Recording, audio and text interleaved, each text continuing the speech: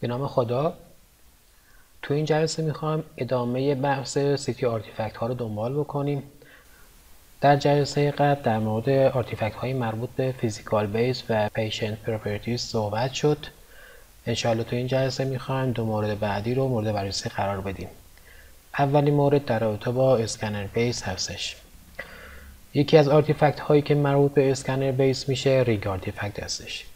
ما در CT تعداد detector های خیلی زیادی داریم. حالا اگر single slice باشه می‌تونیم بگیم که در یه ردیف می‌تونه 800 تا 1000 detector باشه و حتی این رقم می‌تونه افزایش هم پیدا بکنه. و در صورتی که multi slice باشه شما می‌تونید تعداد ردیف های detector رو ضرب در تعداد detector ها در هر ردیف بکنید. یعنی اگر ما 16 slice باشه شما 16 ضرب در 800 بکنید. به این تعداد ما می‌تونیم detector داشته باشیم. اگر در این مورد یه detector ی خراب بشه و نتونه خوب data جمع بکنه یا اصلا کالیبره نشده باشه باعث میشه که ما یک حالت ring artifact در image مون داشته باشیم. یعنی به ازای چرخشی که detector ها دارن به اطراف بیمار انجام میدن یه ناحیه‌ای سیگنال دریافت نمی‌کنه یا کمتر دریافت می‌کنه و ما می‌تونیم به صورت یه ring artifact ی داخل image مشاهده بکنیم که به این شکل داخل image قابل بررسی هستش. این پس این ring artifact هایی که داخل image احیانا مشاهده میشه نشون میده که بعضی از detector ها حالا یا سوختن یا اینکه به خوبی کالیبره نشدن و نیازه که مورد بررسی قرار بگیرن که در این موارد حالا می‌تونه مهندس مربوط به دستگاه میاد و این دتکتورها رو یا کالیبره می‌کنه و اگر احیانا هم سوخته باشه در صورتی که نتونه اونا رو عوض بکنه چون معمولا به صورت ما یه ماژول دتکتور داریم. فقط دونه ای نیستش که بخوایم هر دونه رو عوضش کنیم. یه ماژول عوض کردن این ماژول هم خیلی هزینه بره. معمولا مهندس های دستگاه تا اونجایی که بتونن میان از طریق حالا interpolation این قضیه رو حلش می‌کنن. یعنی data ها رو از data های detector های کناری می‌گیرن و یه رقم میانگین پیدا می‌کنن و اون رقم رو به این detector میدن. و با طریق حالا کالیبراسیون و interpolation قضیه رو حل می‌کنن. و اگر نتونن این کار انجام بدن این دفعه ناچارن که اون ماژولی که مربوط به اون ناحیه است رو عوضش بکنن که این کار می‌تونه خیلی هزینه بر باشه. مورد بعدی spiral scanning artifact هستش. که در این مورد کامل بستگی به pitch دستگاه داره. ما اگر بیایم از رقم pitch های بالا استفاده بکنیم یعنی بالاتر از یک این نشون میده اگر من یک object ی در این ناحیه داشته باشم قسمتی از object فقط داره اسکن میشه و ما بقیه اون از طریق extrapolation و یا interpolation بین داده های مختلف داره به دست میاد. و پس من قسمتی از object هم می‌تونم بگم که اسکن نشده. و باید data هاشو از data های مربوط به detector های کناری دریافت بکنه. خب در این موارد ما معمولا خطا هم می‌تونیم زیاد داشته باشیم. یعنی جایی که pitch پایینه یا pitch برابر یکه این نشون میده که کل object ما که در این مسیر قرار داره داره اسکن میشه. حالا اگر زیر یک باشه نشون میده که حتی قسمت هایی از اون object دو بار یا بیشتر داره اسکن میشه. و اگر مساوی یک باشه یعنی تمام طول object اسکن شده و data ازش جمع شده و تمام این data ها واقعیه.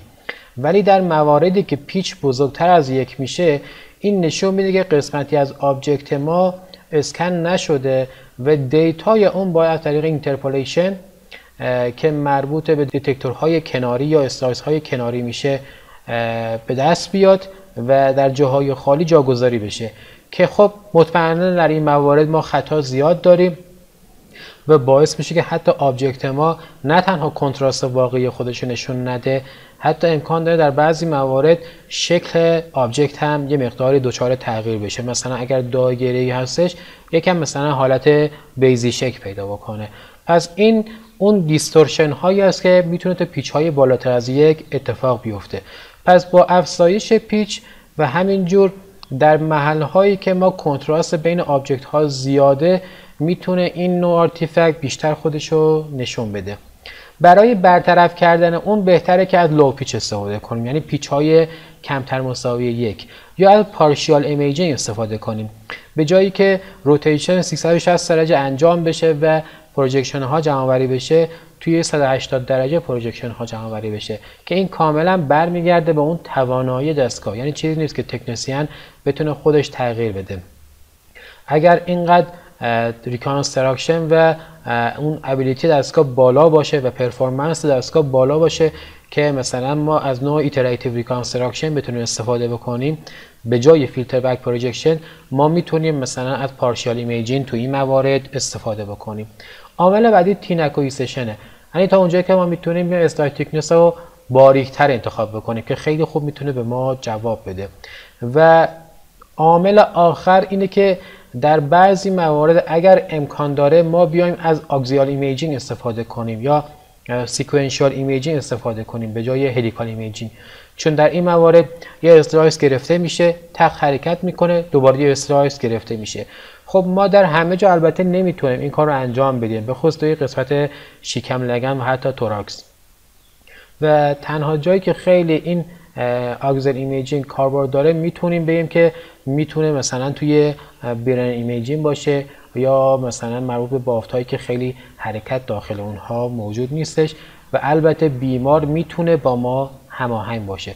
چرا؟ چون در این مورد اسکن زمانی که می‌بره خیلی بیشتر از helical scanning و خب امکان داره که بیمار نتونه با ما هماهنگ باشه.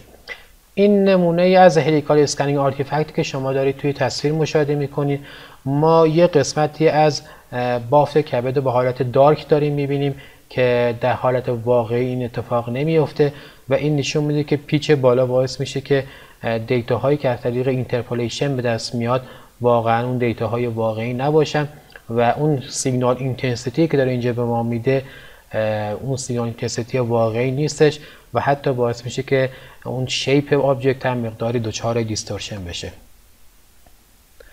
عامل بعدی یا آخرین عامل artifact توی CT که مربوط به helical و multi-slice artifact هستش رو مورد بررسی قرار میدیم.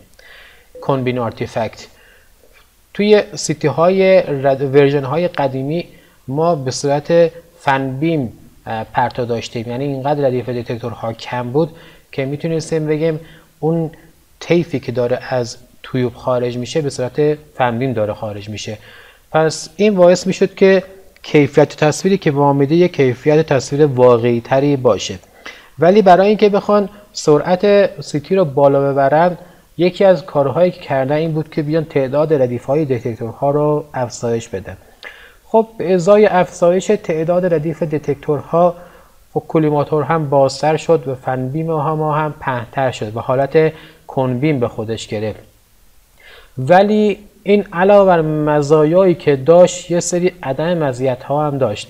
خب که یه تعدادیش مربوط به تکنسین میشه که خوب می‌تونه با اون مقابله کنه و یه تعدادی هم مربوط به design خود دستگاه میشه که میریم و اونها رو مورد بررسی قرار بدیم پس وجود این cone beam یا در واقع cone angle باعث شد که یک سری artifact هایی ما داشته باشیم که باعث بشه که shape object ما حالت distortion پیدا بکنه و در واقع اون image واقعی رو ما نداشته باشیم که نمونهش همون partial volume artifact یا همون لبه های تصویره که باعث بشه که حالت درخشندگی داشته باشه و ما کامل لبه های sharp رو نداشته باشیم.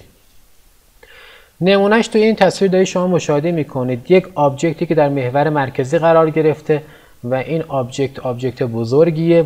این در جهت محور Z رو داره نشون میده. وقتی که در زاویه صفر درجه میاد object رو تحت تابش قرار میده. A و B هر دو تحت تابش قرار می‌گیرن و خب یک image ی توی این projection به ما میدن. ولی می‌بینید که وقتی تغییر زاویه داده میشه و در زاویه 180 درجه یا کاملا یا در زاویه کاملا مخالف ما object B رو نمی‌تونیم تحت تابش قرار بدیم. چون خارج از field coverage ما قرار گرفته. و فقط object A که در محور مرکزی قرار داره داره تابش ببینه خب این باعث میشه که ما یه سری incomplete projection هایی داشته باشیم. و در نهایت image ی که به ما میده اون دانسیته واقعی رو به ما نمیده. یعنی اینجا A در تمام projection ها تحت تابش قرار می‌گیره ولی B خیر تحت تابش قرار نمی‌گیره.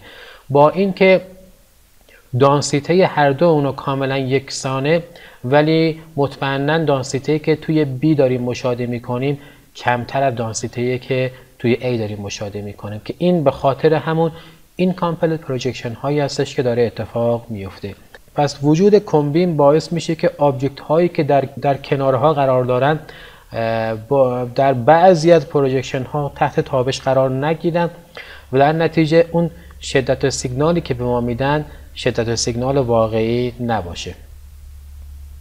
عامل بعد اینه که ما یه object داشته باشیم که در مرکز قرار بگیره. البته دور از محور Z همونجور که مشاهده می‌کنید در محور صفر درجه این object تحت تابش قرار می‌گیره و ما می‌تونیم شدت سیگنال اون رو در detector آخری مورد بررسی قرار بدیم. ولی وقتی که زاویه تغییر می‌کنه و در زاویه 180 درجه قرار می‌گیره tube و دوباره به object تابش وارد میشه می‌بینید که این دفعه در detector مرکزی ما باید اون سیگنال رو پیدا بکنیم. پس این نشون میده که ما توی cone beam ها جابجایی سیگنال هم داریم. object ی که قرار تمام سیگنالاش در یک detector ثبت بشه ولی در تغییر زاویه و در projection های مختلف در detector های مختلف data ثبت می‌کنه و در نتیجه ما مقداری در مقداری اینجا distortion اطلاعات داریم و اطلاعات مربوط به یک object در detector های مختلف ثبت میشه. پس اینجا هم ما image مون مقداری دچار distortion میشه. پس اگر ما بخوام توی image این نوع artifact رو مورد بررسی قرار بدیم می‌تونیم به خوبی توی تصویری که از لگن گرفته میشه این عامل رو مشاهده کنیم. توی cone beam artifact همونجور که مشاهده می‌کنید تصویری که در کنارها قرار داره نه تنها حالت درخشندگی داره بلکه اون لبه ها را ما نمی‌تونیم به خوبی مشاهده بکنیم. می‌بینید که لبه ها مقداری به هم ریختگی داره و حالت درخشندگی پیدا کرده. پس این نوع artifact رو ما به نام cone beam artifact می‌شناسیم که حتی ما توی تصویر axial هم می‌تونیم مشاهده کنیم. پس لبه ها رو ما به خوبی نمی‌تونیم مشاهده بکنیم و حالت درخشندگی و در واقع distortion توی لبه ها و اجه های تصویر اتفاق میفته برای اینکه من بخوام این artifact رو برطرف کنم یکی از مواردی که خیلی مهمه به دست تکنیسیانه همون پهنای بیمیه که داره انتخاب می‌کنه یا کلیمیشنی که داره انتخاب می‌کنه. اون کلیمیشن رو تا اونجایی که امکان داره ما باید کم انتخاب بکنیم. اگر ما مثلا داریم از یک مفصلی یا مثلا از برین داریم تصویر می‌گیریم و ناحیه‌ای که بیمار خیلی تکون نمی‌خوره و کامل می‌تونه با ما هماهنگ و هماهنگ باشه و همکاری بکنه بهتره که ما کلیمیشن رو اینقدر بزرگ انتخاب نکنیم. مثلا اگر من دارم با دستگاه 16 slice کار می‌کنم بیام collimation رو به جای 16 در 6 دهم بیام 8 در 6 دهم انتخاب بکنم. و یا حتی 4 در 6 دهم به شرطی که خیلی exposure بالا نره و دوز بیمار افزایش پیدا نکنه. خب بهتره که یک trade-off ی داشته باشیم یک شرایط متعادل برای این موارد انتخاب بکنیم تا بتونیم این artifact ها رو کاهش بدیم. ولی خب اگر می‌بینیم که نه بیمار قادر نیست با ما همکاری بکنه و می‌خوایم مثلا شکم رو تحت تابش قرار بدیم اینجا دیگه ناچاریم ما سرعت اسکن رو بالا ببریم. و حد اکثر کلیمیشن رو انتخاب می‌کنیم که همون مثلا 16 در 6 دهمه پس انتخاب کلیمیشن بستگی داره که شما چی از بیمار می‌خواید؟ آیا نیازی که تصویر شما حتما رزولوشن بالایی داشته باشه؟ به خصوص توی مفصل ها یا توی مثلا skull base اگر می‌خواید مورد بررسی قرار بدید. اینجا باید collimation رو کاهش بدید. ولی نه اگر می‌بینید که شکم رو تحت تابش می‌خواید قرار بدید و نیازی که سرعت اسکن رو بالا ببرید می‌تونید collimation های بالا استفاده بکنید. روش های دیگه که ما می‌تونیم این نوع artifact رو کاهش بدیم استفاده از hybrid detector ها هستش که خب این بستگی به اون کمپانی و اون سازنده دستگاه داره که اکثرا الان از همین hybrid detector ها دارن استفاده می‌کنن. و نوع دیگه وجود قوس در جهت محور Z هستش. یعنی وقتی که ما با دستگاه هایی داریم کار می‌کنیم مثلا 384 slice کمپانی ها برای اینکه بخوان مقدار این artifact رو کاهش بدن و همینجور جوری باشه که فوتونی که به detector های کناری می‌رسه شدت سیگنال اون با فوتونی که به دتکتور مرکزی می‌رسه برابر باشه میان مقداری دتکتورها رو در جهت محور زد به حالت قوسی شکل درست می‌کنه یا حالت پله پله درست می‌کنه که فاصله اونها نسبت به تویوب کاملا با هم برابر باشه. و از این طریق بیان اون فوتون استارویشنی که به خاطر فاصله های مختلف نسبت به تویوب هست رو از بین ببرم پس این دو مورد آخر ما هیچ نقشی داخلش نداریم. یک هایبرید دتکتور ها و یک و عامل بعدی در واقع اون قوس یا حالت پله که در جهت محور زد هستش. ولی کالیمیشن کاملا دست تکنیسیانه و با انتخاب یک کالیمیشن مناسب می‌تونه رزولوشن رو تا اونجایی که امکان داره افزایش بده.